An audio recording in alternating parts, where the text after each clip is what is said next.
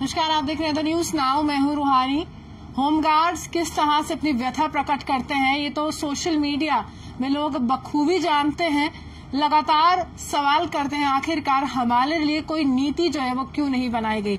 वहीं एक तरह से एक ऑर्डर आता है, जिससे कहीं ना कहीं तमाम होमगार्ड सख्ते में पड़ जाते हैं और चिंता में पड़ जाते हैं। क्या वाकई जम्मू कश्मीर के प्रशासन को हमारी चिंता है या हमें मारने की एक साजिश जो है रची जा रही है? एक ऐसा ऑर्डर आता है कि पहले तो ये इंतज़ार कर रहे होते कि रेगुलाइजेशन का कोई ऑर्डर है, लेकिन ये बिल्कुल हटकर था और एकदम ये कहा गया कि आप मौत के मुँह में अगर जा रहे हैं भेज भी खुद रहे होते हैं, लेकिन आप मौत के मुँह में जा रहे हैं तो उसके बाद आपको अगर कुछ होता है, ना तो आपके परिवार को कंपनसेशन दिया जाएगा, ना आपको दिया जाएगा। आप यही कहलाए जाएँगे कि वॉलेंटियर तौर पर कोविड के इस समय में तमाम होमगार्ड सेवा कर रहे हैं।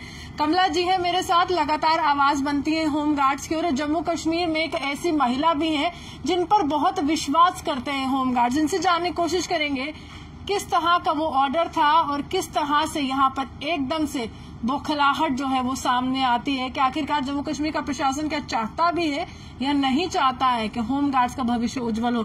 कमला जी, सबसे पहले आप हमें बताइए कि वो कैसा ऑर्डर था जिसने कहीं ना कहीं यहाँ पर हलचल सी मचा दी तमाम होम गार्ड्स में कि आखिरकार प्रशासन क्या सोच रहा है? मैम, सबसे पहले मैं आपका और आपके चैनल का धन्यवाद करूँगी कि एक सोशल मीडिया है जो एक गरीब जनता की आवाज़ कहीं एक एडमिनिस्ट्रेशन चलो एडमिनिस्ट्रेशन तो सरकार तो इधर है ही नहीं है सिर्फ़ नाम की एडमिनिस्ट्रेशन और वो है। तो बाकी इधर तो राज पता नहीं किसका चल रहा है किसका नहीं वो तो है ही नहीं।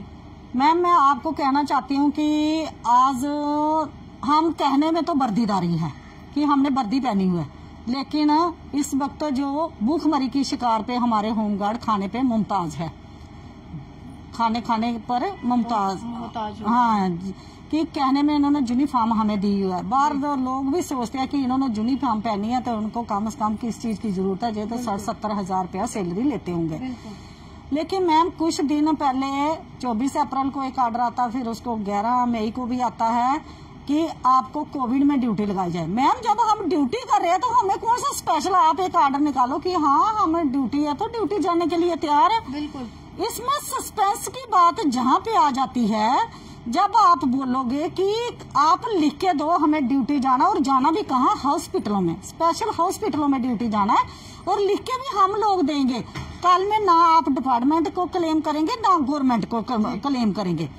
क्या होम गार्ड के जवानों के साथ हमारी, मैं बोलती कि इस सरकार जो इस वक्त कोरोना काल में लोग इतनी सेवा कर रहे हैं, बढ़ चढ़ कर। बाहर की देखो सिविल सोसाइटियाँ भी सेवा कर रही है। सब सोसाइटियाँ लोगों को दान अन्न हर चीज़ उनको खिला रही है कि कितना कुछ उनकी जहाँ तक कई जगहों पे तो बच्चों की फ़ीस भी दी जा रही है। इतने लोग धर्म कर रहे हैं काम कर रहे हैं एक अच्छे काम कर रहे हैं। लेकिन इधर एक हमारा डिपार्टमेंट ऐसा है जहाँ पे मैं नहीं बोलती जे हमारे डीजी साहब का ऑर्डर नहीं था जे किसका ऑर्डर था डीजी साहब का तो इस पे नाम भी नहीं है उनको शायद बेचारों को पता भी नहीं होगा। तो लिखा है कि आप जाएँगे जितने भी कंसर्निंग हॉस्पिटल है गवर्नमेंट के बड़े बड़े वहाँ पे आपको ड्यूटी लगाई जाएगी कोविड पेशेंटों के साथ है। साथ में उसके बाद आपको इनको ऑक्सीजन तक भी देना पड़ेगी सब कुछ। सेवा करना मैम हमारा काम है हमने यूनिफॉर्म डाली है हमें उसके लिए एतराज़ नहीं है कि हम ड्यूटी भी करेंगे। लेकिन परिवार आपका है। परिवार हमारा भी है बच्चे भी है सब कुछ है। डिपार्टमेंट तो हमें निकारता होगा कि मारने की तादाद भी तुला हुआ है। लेकिन हमें परिवार से कोई लावारिस थोड़ी है? कल में हमें कुछ खुदा नखास्ता हो जाता। आपने भी देखा कि हॉस्पिटल जाते हैं लोग, जो भी किसी को पेश है प्रॉब्लम होती है, वो ज़िंदा जाता है तो मरा हुआ डेड बॉडी आती है, उसको ज़िंदा तो कोई आया नहीं। ऐसे ही हमारे डिपार्टमेंट ने ऐसी साजिश रची थी कि होमगार्ड को खत्म करने के लिए खास कर जो जम्मू डिवीज़न में, जितनी भी जम्मू डिवीज़न की डिस्ट्रिक्ट है, सभी में।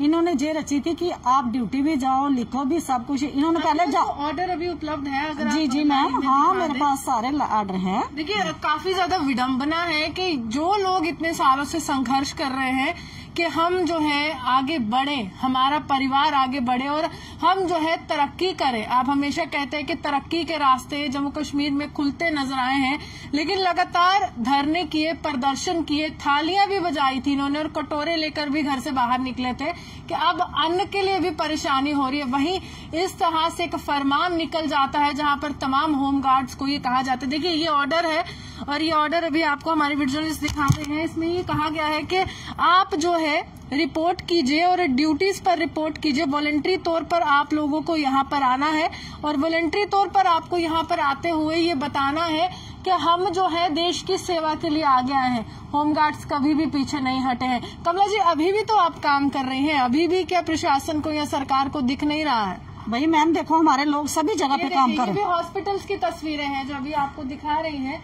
ये भी हॉस्पिटल्स की तस्वीरें हैं और यहाँ से सीधे तौर पर आप ये अंदेशा लगा सकते हैं। देखिए किस प्रकार यहाँ पर भी तो सेवा कर ही रहे हैं। ये देखिए कहाँ की तस्वीरें हैं कमला जी? मैम जो श्रीनगर की जहाँ पे हर जगह पे कर रहे हैं चाहे जम्मू हो चाहे कहीं जो हमारी ड्यूटी है वो हम कर रहे हैं बैक ये हॉस्पिटल है इमरजेंसी हो देखो OPD इमरजेंसी के अंदर। उसके पीपी किट डाल के भी हमारे लोग काम कर रहे हैं मैम। और ये देखो मैम लेटर निकलता है डायरेक्टर ऑफ़िस से। देखिए किस तरह से यहाँ पर बातें की जाती हैं कि आप अपने अपने जो एरिया है यहाँ पर कह दीजिए कि आपको पूरी तरह से रिपोर्ट करना है और आप अपने जो एरिया के होम गार्ड्स हैं, उनके ये मनवाइए साइन करवाइए कि वॉलेंट्री तौर पर आ रहे हैं और मौत होती है तो हम जिम्मेदार नहीं हैं। तो मतलब ये किस तरह का फरमान था कि आपसे ही, आपके ही मौत के दस्तावेजों पर पूरी तरह से दस्तखत कराए जा रहे हैं? मैम इन्होंने सोचा कि उधर जाएँगे जो हॉस्पिटलों में तो जब इनका उधर जाएँगे तो उधर थी जहाँ भी आप जाओगे तो उन्होंने पहले टेस्ट तो करना ही है हमारा। इनकी पूरी साजिश थी उन्होंने हमें पॉजिटिव करना था ये मिले हुए थे पूरे। डॉक्टरों के साथ भी उनके साथ ही इन्होंने पॉजिटिव करना हमें एडमिट करना था इंजेक्शन लगाने थे हमारे लोगों को खत्म करना था। जहाँ तक ये बहुत बड़ी साजिश एक बड़ा इन्होंने बहुत बड़ा एक रचा था खेल इतना बड़ा जो इनका अब फेल हो चुका है। मैम ऑलरेडी इनके पास जो परमानेंट लोग हैं, वो भी होम गार्ड है मैम उसके बाद उनके नाम चेंज करते हैं, जब हम अपनी एजुकेशन एग्जैलरी एग्जैलरी के बाद एस डी आर एफ़ तो ये बहुत बड़ा इन्होंने बनाया हुआ था इसमें कि इनको नए भर्ती करेंगे हम. जब वो मुलाजम आपके पास सत्तर हज़ार से लेके एक एक लाख रुपया सैलरी ले ले है, आप उनको नहीं भेज रहे हो.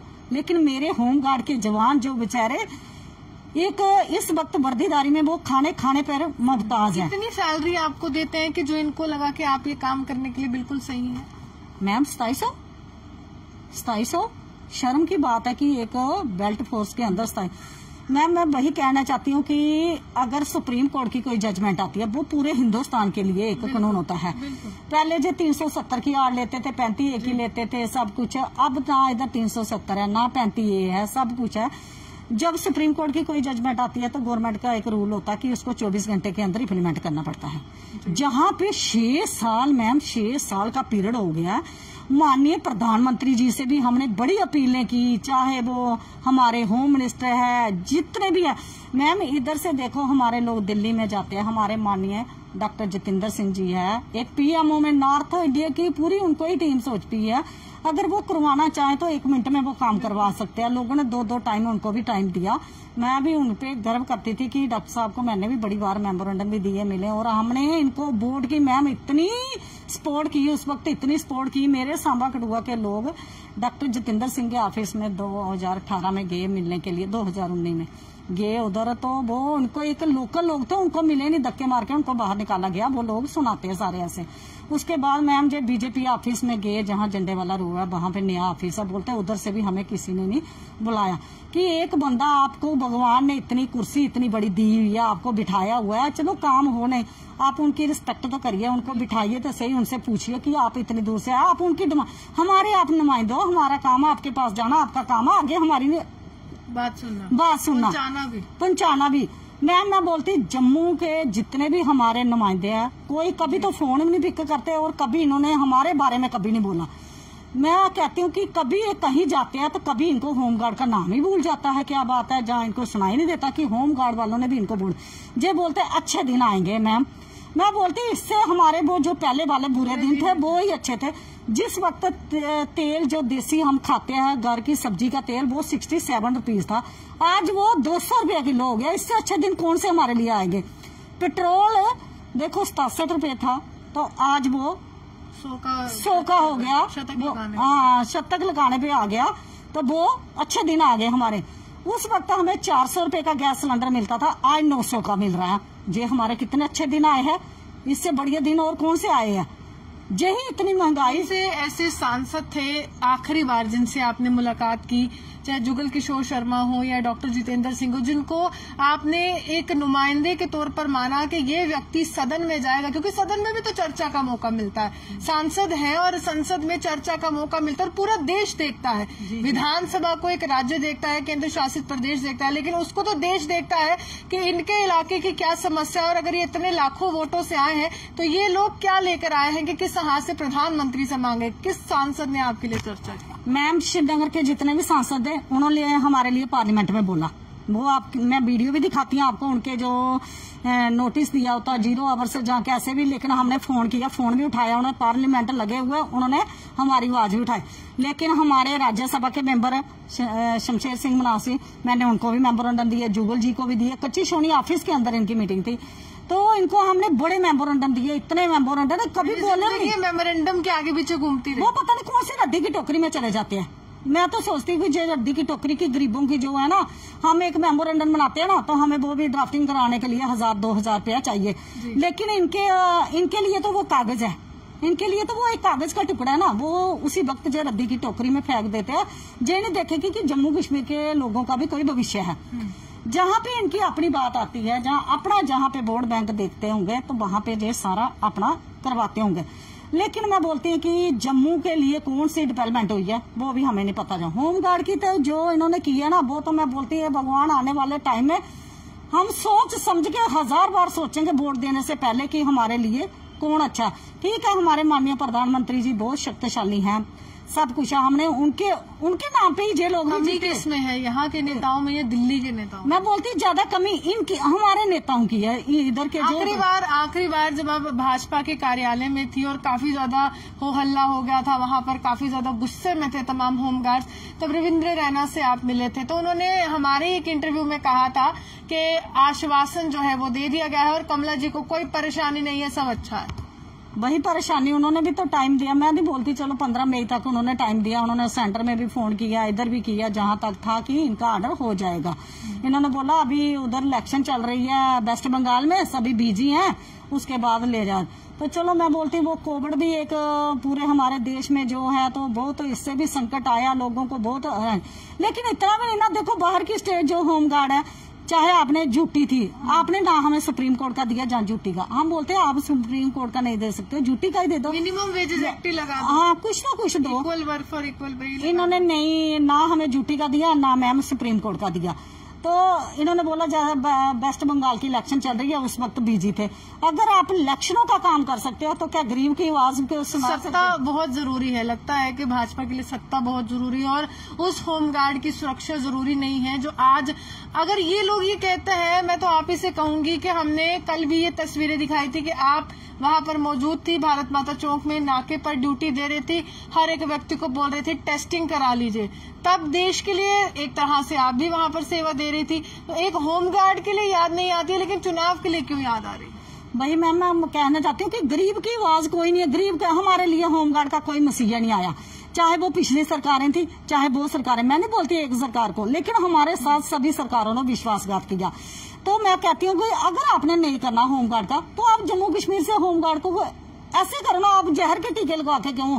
आपने स्लो पॉइजन दिया, वो क्यों दे रहे आप इनको पॉलिसी खत्म कर दो ना, क्योंकि वहाँ से इनको करोड़ों रुपए का फंड आता है तो वो पॉलिसी कैसे खत्म करेंगे? एक मैम देखो, हमारे डिपार्टमेंट में अगर कोई अच्छा ऑफिसर आएगा ना, उसको तीन, छह महीने में ट्रांसफ़र कर जाते हैं कि वो इनके फेवर में।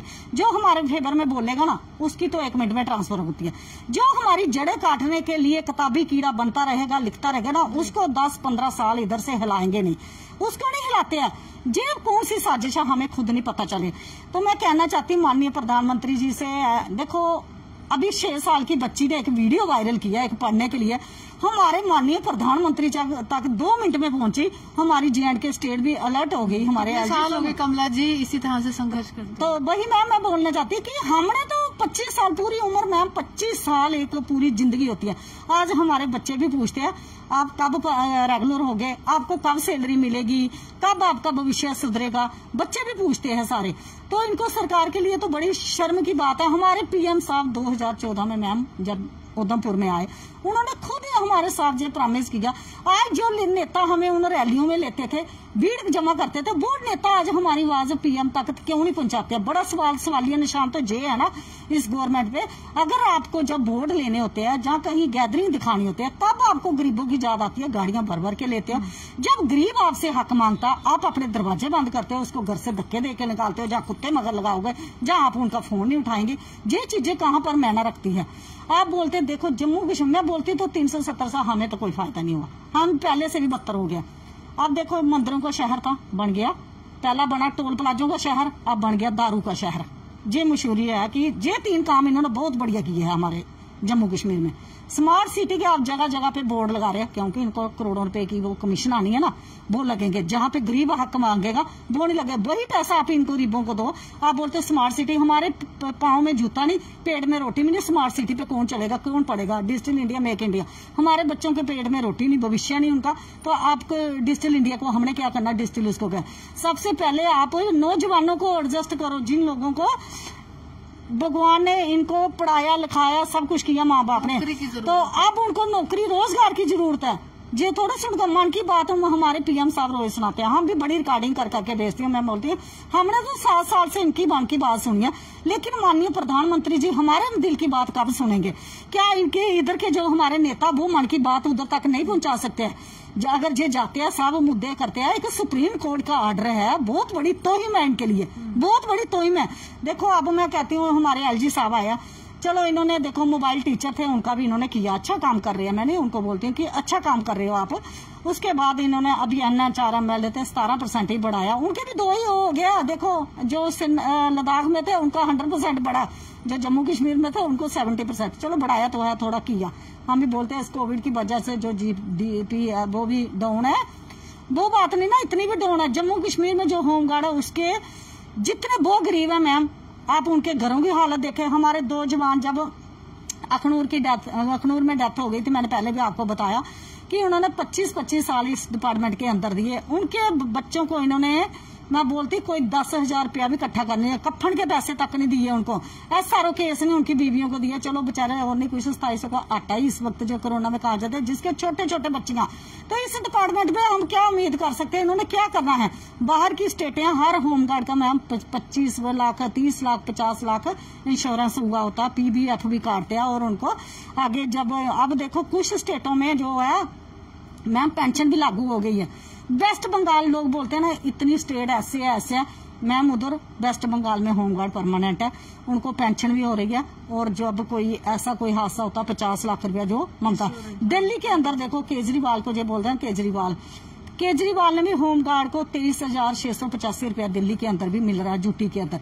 आप वही दीजिए, चंडीगढ़ है, थर्टी एट थाउज़ेंड, पचास लाख का इंश्योरेंस है, पांडिचेरी, अंडोबार, निकोबार, दादरा, हवेली, सभी जगह पे। लेकिन हमारे लिए कोई नेता नहीं बोलता इधर का, कोई नेता मैं बोलती कभी बात ही नहीं करेंगे।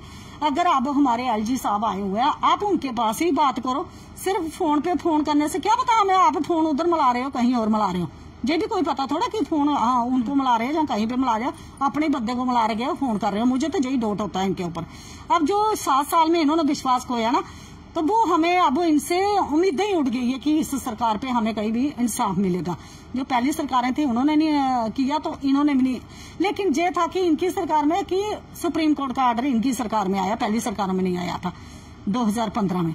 तो मुझे पूरी उम्मीद थी कि ये सरकार एक supreme court madam supremo power है।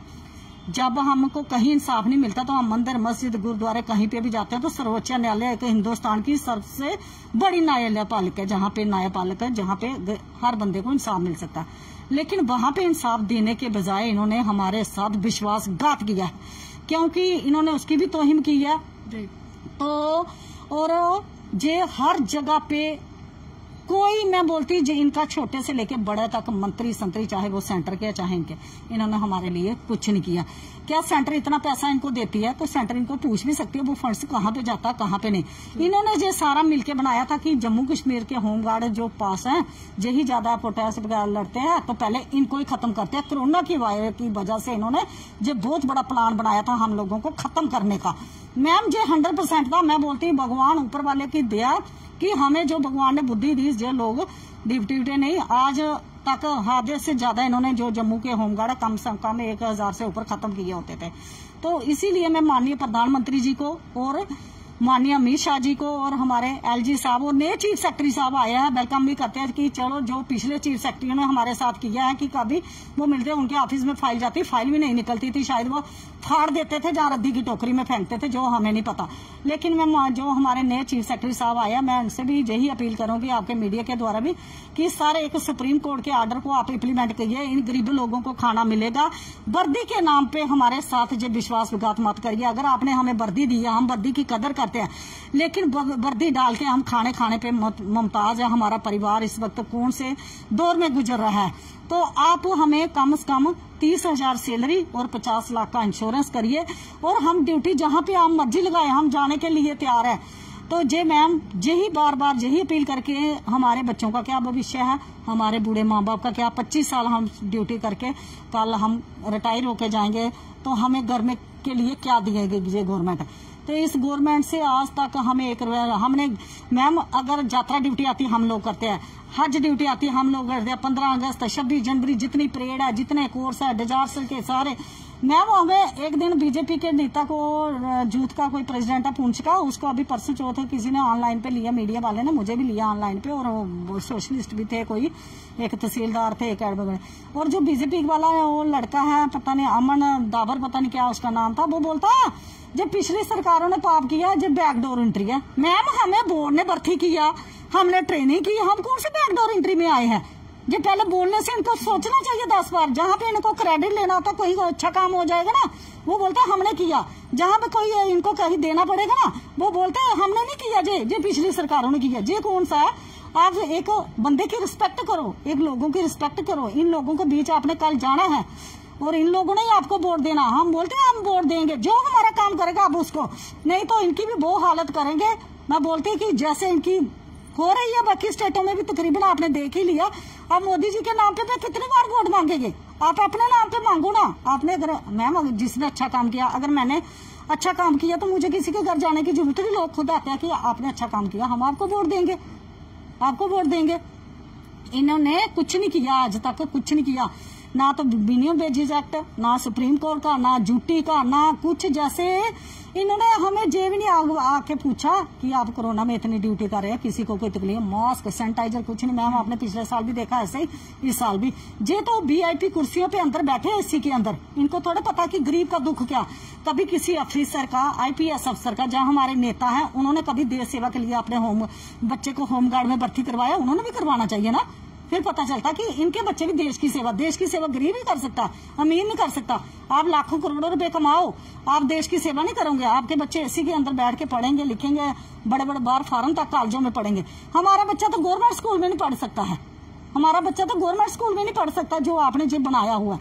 अब तो मैं बोलती हूँ, इन्होंने जम्मू देखो ट्रांसपोर्टर आज, वो कितनी दूर तक बेचारे डाउन हो गया उनको ना पिछले साल इस साल मिला, ना इस साल मिला। वो भी रो रहे जम्मू के अंदर आप बोलो कौन से जितने डेली वेजर चाहे वो पीएचई है पीडीडी है कोई भी डिपार्टमेंट है बेचारा टेक्नो टीचर देखा ना आपने उनका भी इंजीनियरों का?